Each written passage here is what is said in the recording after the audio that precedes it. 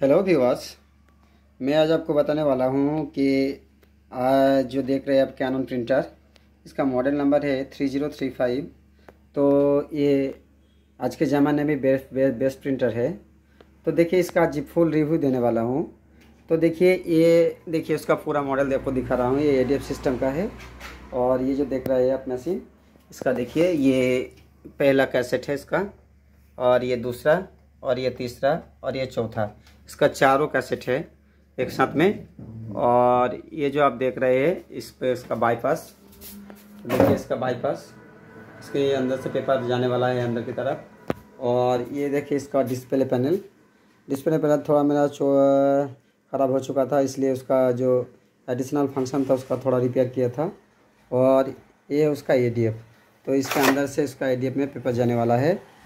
तो देखिए इसका जो डिस्प्ले पैनल में आप देख सकते हो, ये है इसका डायरेक्ट और इसका कॉपी रेशियो पेपर सेटिंग और ये जो दिख रहा है फिनिशिंग और टू साइडेड मोड तो इसका जो लगभग प्राइस है, लगभग पचास हज़ार के आसपास है, और ये ए थ्री पेपर सपोर्ट करता है। देखिए, इसका जो डिस्प्ले होता है, ये जो देखिए, इसका डिस्प्ले तो ये A four A three paper support करता है। तो देखिए, इसका एक प्रिंट आपको करके दिखाने वाला हूँ। तो देखिए, ये पेपर दे रहा हूँ मैं, और उसका जो कैसेट अंदर, देखिए, इसका पेपर सिलेक्ट कर रहा हूँ। तो स्टार्ट बटन प्रेस करके, ये देखिए, ये पेपर प्रिंट लेगा। ये देखिए सिग्नल हरा सिग्नल देने वाला है। तो इधर से ये बाहर आएगा। तो देखिए, ये पेपर बाहर आ रहा है।